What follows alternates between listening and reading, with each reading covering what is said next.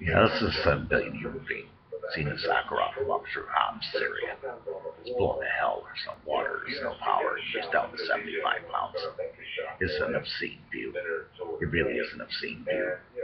The city's just blown to complete pieces. Years of war taking its toll on her. She's down to 75 pounds. She assaults thin. Soldier about her treated bread.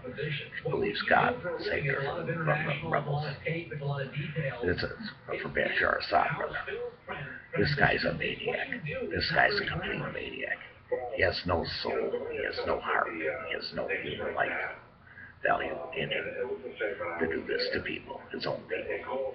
This is just laid waste. And this this lady just suffered so bad. Zena, just see, it's too bad. It's the sadness of human life. It's a failure of human life. Bashar Assad is a butcher, torturer, murderer, and war criminal. That's the human truth. That's the human news. That's the human fact of human life. Hans ah, is born with Zena Zakharov. Just suffers like nothing. 75 pounds weighs now. This is uh, big, big news. Thank you for watching.